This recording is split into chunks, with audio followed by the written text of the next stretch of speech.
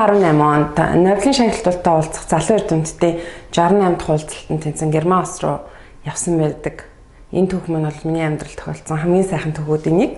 За тэрхүү Нобелийн шагналттай уулзах уулзалт нь бүтэн 7 хоногийн турш Линдауг хотод болсон. Тэгээд тэнд дэлхийн 600 гаруй залуу эрдэмтэд судлаачид өөрсдийнхөө судалгааны ажил хийдэг зүйлээ ямар улс орноос ирсэн ямар түүх соёлтой газраас ирсэн гэдэг бүх амьдралынхаа түүхээс ахуулаад судалгаа шинжилгээнд хийж байгаа бүх зүйлээ эдгээр эрдэмтдтэй хуваалцах боломжийг олгодог юм сайхан уулзалтайдаг.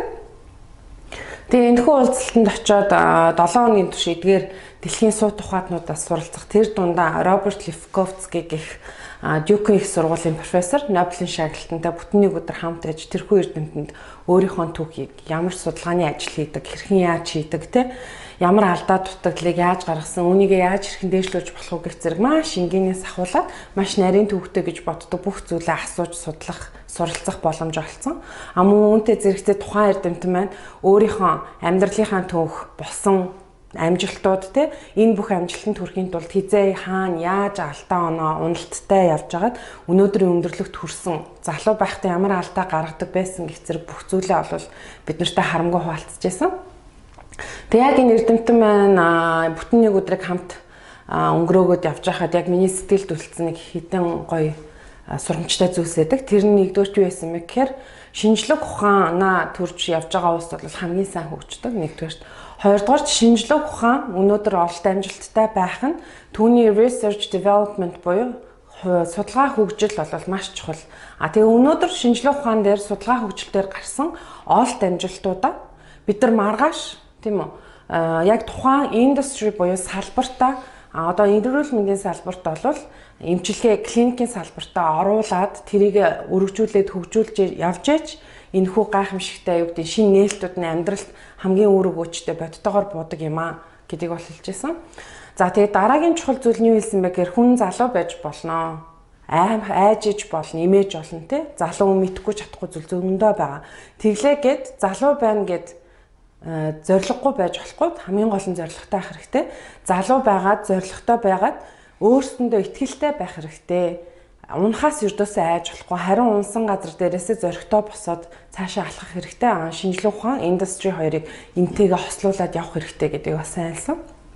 Тэгээ энэ нь бол миний сэтгэлд маш тодор үлдсэн байдгийн. Тэгээд 18 онд Нобелийн шагналтуудын уулзалтаас хурж ирчээд өөрийн баг хамт олонтойгоо ярилцаа тий. Япон улсад яг үүдлэс түүний зохицуулан чиглэлээр бол докторийн зэрэг хамгаалаад ирсэн байсан учраас яад энэ чиглэлээр бид нар яг клиникийн салбар руу илүү нарийн гүнзгий ороод судалж энийг клиникт нэвтрүүлж болохгүй юм бэ гэдэг дээр бол бүгдээрээ зүрх шулуутсан. Тэгээ бүгдээрээ цаашаага илүү нарийн мэрэгжлийн сургалтуудад хамрагдаад аа тэгээ клиникт ингээд хүч төрөн орсон байгаамаа. За цааш нь яриагаа үргэлжлүүлэхээс өмнө та бүхнээс өөрсдөөсөө нэг асуултыг асуугаасаа гэж хүсэж байна л та. Та бүхэн хизээ нэг цагт гар хуруугаа зүгээр те хоол хийж ахтаа зүсэх. За боли ажиллаа хийж байгаа цаас нь гараад зүсэх За өгүүдээ гэхэд хүүхэд байхдаа эсвэл бидний хүүхдүүдтэй гадаа гүүж гараад тоглох гэж байгаа санамсаргүйгээр бүдэрч унаад хөл гараа гинтэх зүсэх зүйл бол бидний амьдралд зөндөө тохиолдог тийм ээ. Энэ жижиг тохиолдол болгонд бид нар эмч рүү очиод эмчээ энийг эмчлээд өгч энэ шархыг цэвэрлээд өгөөч гэхээс илүү гэрээ аргаар сайхан угааж цэвэрлээд шахны лент наах байдлаар бүгдээрээ аргалаад явдаг бах тийм үү. За за буулийг гэхэд бид нар юу гэдэг хөл гараа хугалсан тохиолдлууд бид нар өөрсдөө биш маа гэхэд бид бүгдийн найз нөхөд гэр бүлийнхэнд бол ямар нэг байдлаар байдаг. Тэгээд эмчтэр очдог, гипсдүүлээд явдаг. Тодорхой хугацааны дараа буцаад идэрдэг. А тэгвэл энэ бүх идэгрэх процесс нь эмчтэй, эмчийн зөвлөгөөтэй, эмчилгээ хийлгэж байгаа, хийлгээгүйгээр ямар нэгэн байдлаар идэгэрч байгаа та бүхэн бол мэдээж идэгрээд одоо зүгээр болсон байгаа хэ. Тэр яаж идэгрээд байгаа юм болоо? Энэ процесс нь хэрхэн яаж явагдаад байгаа юм болоо гэж та бүхэн хизээ нэгэн цагт өөрснөөс асууж үзэж байсан уу? За энэ бүх процессын хамгийн гол нууц нь энэ бүх тэ эдгэрэх боломжийг олгож байгаа зүйл нь бол бидний бие дотор агуулгадж байгаа үүдлэс гэдэг зүйл маань яадаг. За энэ үүдлэс гэдэг зүйл өс маань тэ бидний бусад эдгэрэгтэн дотор байгаа эсүүдээс ямар ялгаатай юм бэ гэж. Энэхүү эс нь бол ердөөсө хоёрхан зүйлээрээ л ядгаатай. Нэгдүгээр энэ эс нь маш олон тоогоор өөрийгөө олшруулж ингэж копидах чадвартай байдаг. Хоёрдугаар энэ олшруулж олшруулсан олон эсийнхэн зарим нэг хэсэг бид нартэй бэртэл гимтэл авбал яг тухайн газар чаарлахтай байгаа шин залуу эсүүдийг нөхөн төлжүүлэхэд нь зориулж тэр чиглэл рүү хөгжүүлдэг. Ердөөс ийм л хоёр зүйлээр ялгаатай эс гэсэн үг. За ийм хоёр зүйлээр ялгаатай э, мундаг эсүүд бол бидний бие дотор байдаг ахны. За тэгэхээр энэ эсүүдийн тухай яг энэ эсүүдийг те өнөөдөр клиник практикт хэрэгжилж байгаа Америкийн нэгдсэн улсын нөхөн сэргээх анаах ухаан үүдэлсийн чиглэлээр бол мундаг судалгаа шинжилгээ хийдэг хүний хэмж Christian Kamala гэдэг эрдэмтэн байдаг. А тэгээ тэрхүү эрдэмтний нэг хэлсэн үгийг би та бүхэнтэйгээ хуваалцъя гэж утсан. Тэрхүү юу байсан гэхээр хэрвээ бидний бие дотор энэ уудлис гэдэг эс маань байдаггүй байсан бол бид нар төрөөд юртосоо нэгээс хоёрхан цаг амьдрал өнгөрөх байсан гэж бол хэлсэн байдаг. Энэ энэ эс маань ямар гайхамшигтай ямар олон зүйлийг чадварыг өөртөө агуулж байгаа юм бэ? Ямар бидний мэд чухал юм бэ гэдгийг бол энэ үг илэрхийлж чадж байгаа гэж би бол бодож байгаа маа. За тэгээ уудлис нь яг зөвхөнтэй бид нар хүл гараад үсээд бэртэл гэмтэл авсан үед зөвхөн ажилтдаг эсүүд юм уу гэвэл үгүй бидний толгооноос ахуулаад хөл хүртэл байгаа бүх эрэгтэй эрэгтэн дотор маань бол эдгээр уудлисүүд маань бол байждаг. Гэхдээ анханасаа тухайн эрэгтэн болон өөрийн гэсэн програмчлагдсан системтэй байдаг. Энэ програмчлагдсан систем нь ямар хугацаанд шинэ уудлисээ уудлисээс шинэ эс төрүүлж гарах вэ гэдгээр л хоорондоо ялгаатай байдаг. Тэгэхээр бидний тэ хэлж ярьснаар элэг бол аягүй сайн нөхөн төлждөг эрэгтэй юм байлээ гэдэг ч юм уу. Эсвэл зөөрөх тархиныг гэрчлэл гэмтэл авчгаар өрдөөсөө эргэж идэгдгүй байлаа гэж ярьдаг чинь энэ тухайн эд эрэгтэн дотор агуулгадж байгаа тэр уудлисийнх нь өөрийнх нь програмчлсан байдал нь ийм нөхцөлтэй байгаа учраас тухайн эрэгтэн нь бол ийм онцлогтой байна.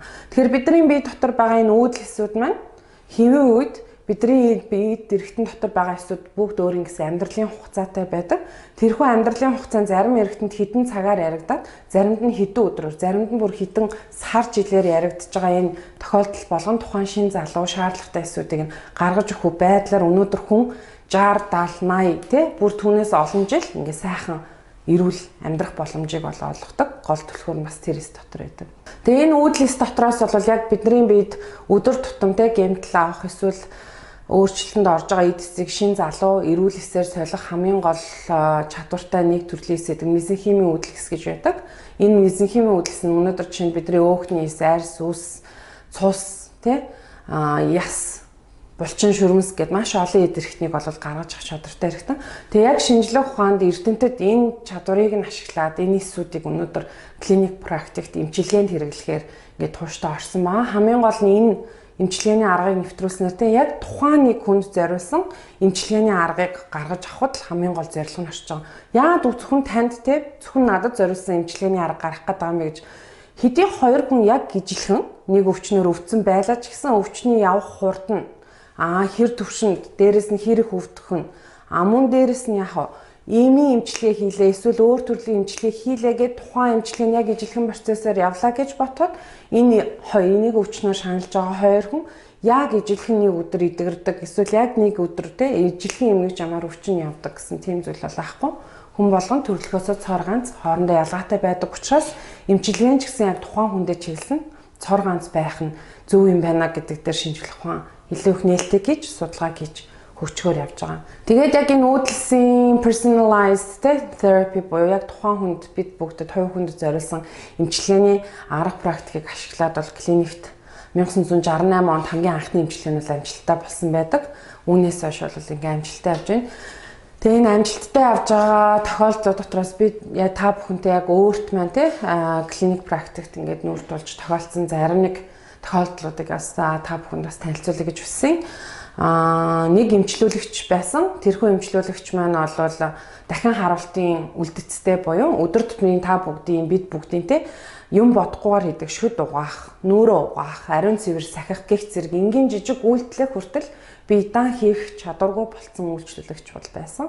Тэгээ тэрхүү хүмүүс маань үүдэлсэн эмчилгээнд орсон үүдэлсэн эмчилгээнээс 2-оос 3 сарын дараа бидний саяны хэлсэнтэй жижиг үйлдэлүүд амьдралдаа юм бодохгүйгээр хийдэг тий рефлексээр хийдэг нүрээ угаах, шүдээ угаах, ариун цэвэр сахих, эрэгтэй хүмүүс бол сахал усах гих зэрэг зүйлээ бол биедан хийх чадвартай. Түүнээс гадна цаашаага чөлөөтөө биедан алхах, явах чадвар нь бол эргэн ирсэн байсан юм гайхамшигтай зүйл бол байгаа. За ингээд та бүхэндээ хуваалцахыг хүсэж байгаа дараагийн нэг түүх маань болохоор дунд иргэн орчим насны үйлчлүүлэгч байсан. Тэрхүү хүн маань бол төмөр илүүдэх өвчтэй. А сүүлийн 20 жил яг энэ өвчнөрөө шаналж авч байгаа. Төмрийнхаа хэмжээгтэй биедээ хэвийн хэмжээтэй аль болох ойрхон барихын тулд тухайн хүмүүс нэг жилд 3-аас 4 удаа заавал донор байдлаар цусаа өгдөг. За тэгээ яг энэ төмөр хуримтлагдах өвчнөөсөө болоод тухайн хүмүүс сүүлийн 10-аад жил элэг бөөрийн үйл ажиллагаа нь байнгын алдагдaltaй. Одоо та бидний мэддгээр алаа тасаат те креатининийхэн түвшин үргэлж хэвийн бус хэмжээндээ эрүүл хүнийхээс 2-оос 3 дахин их хэмжээтэй бараг 10 жил явсан хүн байсан. Тэгээ үүдэлсэн эмчилгээнд орсон. Үүдэлсэн эмчилгээнээс гараад 3 сарын дараа тэрхүү хүн маань ямар нэгэн байдлаар эмийн эмчилгээ хийлгүүгээр ямар нэгэн байдлаар дахиж цусаа тэ донор байдлаар өгүүлгүүгээр төмөрнийх нь тусан дагуулгадж байгаа түвшин яг хэвийн хэмжээнд очсон. А илүү бөөрийн асуудал нь бүгдээрээ хэвийн хэмжээнд очсон юм гайх юм шигтэй бас зүйл бол байгаа.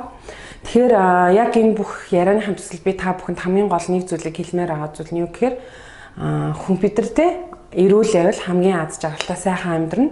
А эрүүл аз жаргалтай сайхан амьдрах хамгийн гол нууц нь өнөөдөр шинжлэх ухаан хөгжөөд бидний бие дотор агуулгадж байгаа юм байна гэдгийг бол аль хэзээний хараад батлаад энийг хэрэглэхээр зорж ажиллаж байгаа. Тэгэхээр та бүхэн маань өөрсдийгөө хайрлаад өөрийнхөө бие махбодыг эрүүлж илээрэй гэж хэлмээр байна. Баярлалаа.